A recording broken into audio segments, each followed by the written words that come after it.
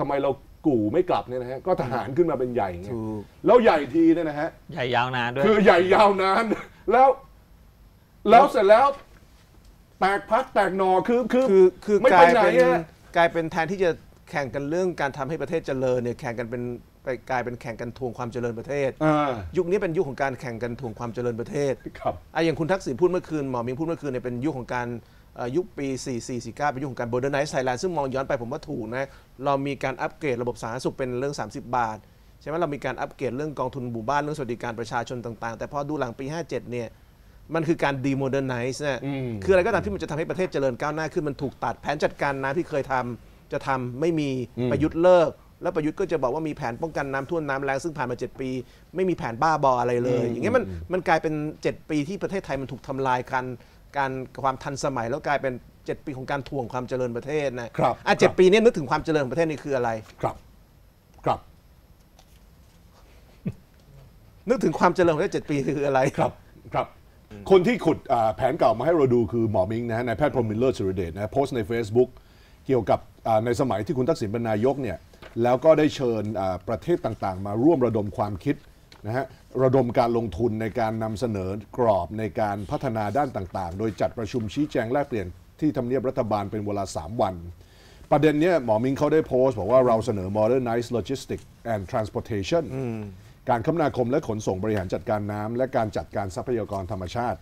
และสิ่งแวดล้อม และนำเทคโนโลยีดิจิทัลมาพัฒนาศึกษาและบริการสุขภาพ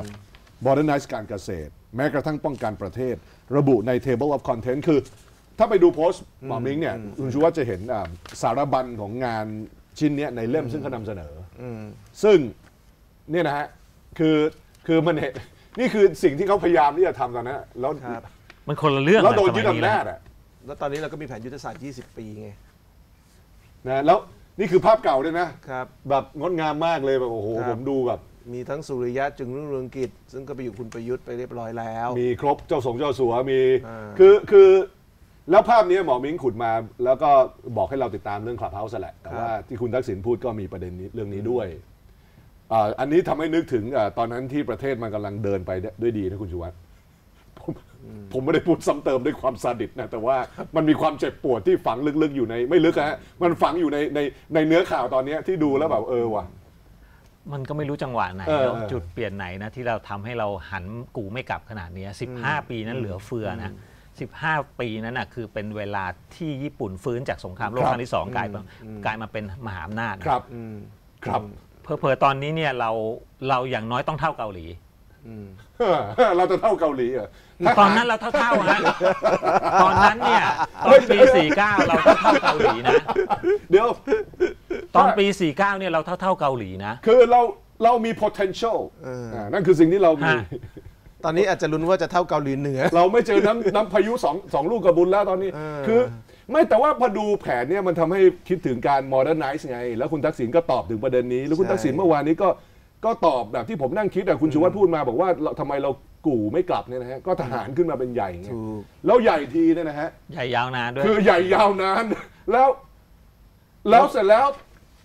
แตกพักแตกหนอคือคือคือคือไม่กไปลายไหนเป็นอะกลายเป็นแทนที่จะ แข่งกันเรื่องการทำให้ประเทศเจริญเนี่ยแข่งกันเป็นไปกลายเป็นแข่งกันทวงความเจริญประเทศอ่ายุคนี้เป็นยุคของการแข่งกันทวงความเจริญประเทศครับอะอย่างคุณทักษิณพูดเมื่อคืนหมอมิงพูดเมื่อคืนเนี่ยเป็นยุคของการเอ่อยุคปี 44 49 เป็นยุคของการ modernize Thailand ซึ่งมองย้อนไปผมว่าถูกนะ เรามีการอัปเกรดระบบสาธารณสุขเป็นเรื่อง 30 บาท ใช่ไหมเรามีการอัปเกรดเรื่องกองทุนหมู่บ้านเรื่องสวัสดิการประชาชนต่าง ๆ แต่พอดูหลังปี 57 เนี่ย